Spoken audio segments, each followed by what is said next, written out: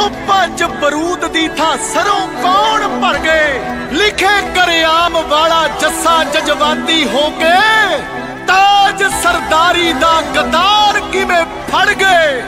ਤਾਜ ਸਰਦਾਰੀ ਦਾ ਗਦਾਰ ਕਿਵੇਂ ਫੜ ਗਏ? ਸਾਡੇ ਨਾਲ ਹੁਣ ਤੱਕ ਗਦਾਰੀਆਂ ਕਰਨ ਵਾਲਿਆਂ ਦਾ ਪਰਦਾਫਾਸ਼, ਲਾਂਡਰਾ ਵਾਲਿਆਂ ਦਾ ਜਥਾ ਇਉਂ ਕਰਦਾ ਬਈ।